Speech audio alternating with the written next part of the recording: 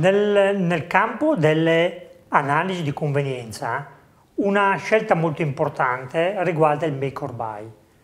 Il make or buy, lo dice il nome stesso, è l'alternativa tra produrre internamente oppure acquistare da un fornitore esterno. Per poter effettuare questa scelta ci sono sicuramente valutazioni di tipo strategico, di tipo qualitativo, di tipo logistico, che sicuramente bisogna considerare. Oggi nella nostra piccola simulazione ci baseremo su valutazioni eminentemente di tipo economico, però con l'avvertenza che tali valutazioni dovranno essere completate all'interno degli altri elementi che ho testé citato. Ebbene, come si può vedere dall'esempio, per poter effettuare l'analisi make or buy bisogna mettere a confronto i costi interni rispetto ai costi esterni dell'azienda. Normalmente quando si effettua questo tipo di analisi si va a fare la somma dei costi interni che ha l'azienda, nel nostro caso pari a 140, e per produrre lo stesso prodotto da un fornitore esterno lo vado a pagare 85. Dal confronto 140-85 risulterebbe subito evidente che è più conveniente acquistare da un fornitore esterno. Ebbene, questo tipo di valutazione sarebbe assolutamente errata, perché non andiamo a confrontare due configurazioni di costo che sono tra di loro omogenee. Perché?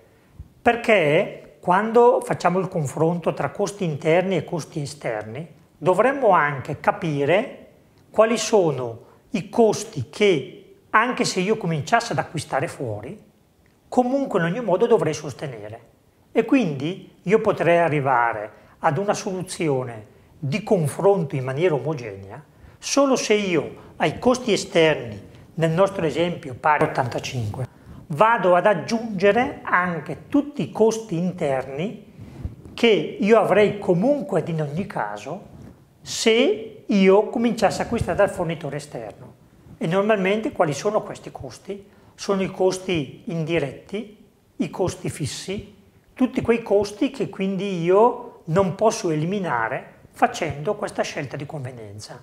Quindi se io vado quindi a paragonare il costo pieno nel caso di produzione interna, 140, e il costo pieno nel caso di produzione esterna, pari a 145, risulta abbastanza evidente che confrontando i due costi pieni mi conviene di più produrre all'interno anziché acquistare all'esterno. Qui abbiamo effettuato il paragone tra le due configurazioni di costo andando a costruire il full costing sia nel caso di, di soluzione interna sia nel caso di soluzione esterna.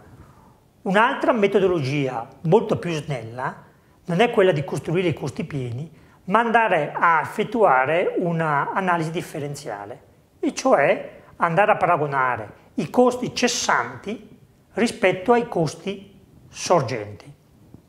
In questo caso qui io vado ad esaminare quali sono e quanti sono i costi che io andrei a risparmiare nel caso in cui chiudessi la produzione interna e sono eminentemente costi di tipo variabile, di tipo industriale, e quali sono i costi che mi sorgerebbero, costi sorgenti o chiamati costi incrementali, che io dovrei sostenere se facessi la produzione esterna.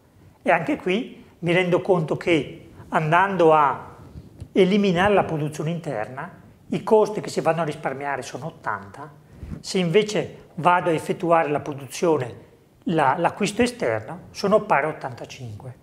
Quindi ancora una volta vado a concludere che è molto meglio continuare a produrre internamente anziché acquistare esternamente.